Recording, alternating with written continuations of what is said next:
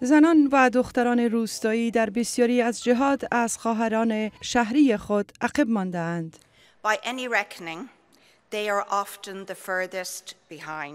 آنها اغلب از هر نگاه عقب افتادند. دسترسی آنها به خدمات اساسی مانند صحت، تعلیم و تربیه غالبا ما را شرمنده می سازد. موقف و وضعیت آنها در برخی از سیستم های عدلی ما نیازمند تغییر اساسی است. فقر و خشونت در مناطق روستایی زندگی زنان و دختران را تهدید می کند و آنها را از درک آنچه ظرفیت واقعی آنان هست متوقف می سازد.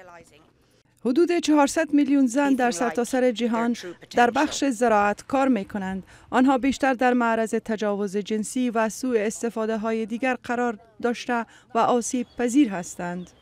They plant, pick and pack the food that we eat.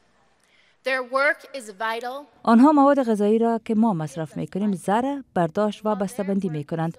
کار آنها حیاتی و برای ما زندگی بخش است.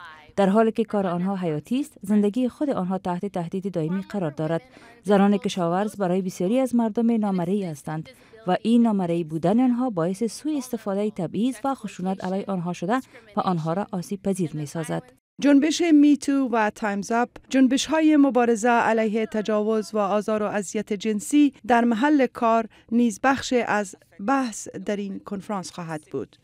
تاثیرات تجاوز به یک زن روی همه زنها یکسان است. چی او در هالیوود باشد یا در کانگو یا در هند. درد همه یکسان است. وقتی ما با هم یک می شویم، همه زنان را آزاد خواهیم ساخت. ما قادر خواهیم بود که تغییرات بنیادی را ایجاد کنیم که دوام داشته باشد. کنفرانس علاوه بر یافتن راه های تقویت زنان و دختران روستایی روی آزمون ها و امکانات دستیابی به مساوات جنسی خواهد پرداخت. ایجاد برابری جنسیتی یکی از کارهای ناتمام عصر ماست. بنابراین زمان آن رسیده تا این وضعیت تغییر کند.